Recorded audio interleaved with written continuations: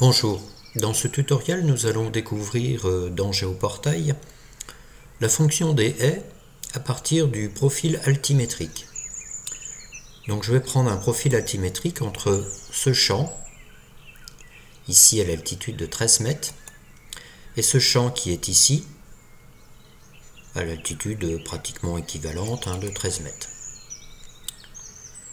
Si on suit maintenant le profil altimétrique, on est ici entre 13 et 14 mètres. Et au fur et à mesure qu'on progresse, on voit que la pente descend pour finalement ici franchir un premier bras du machet, puis un deuxième bras ici au point le plus bas de la pente, et pour ensuite remonter jusqu'ici.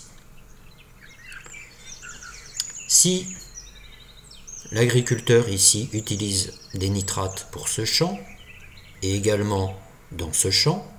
Eh bien, les eaux de ruissellement vont avoir tendance à rassembler les nitrates dans le machet qui finalement, en s'écoulant, va amener les nitrates en surface à la station de pompage.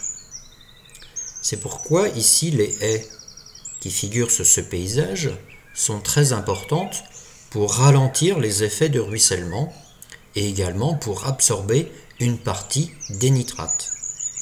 Voilà pourquoi on a une différence de paysage entre ce champ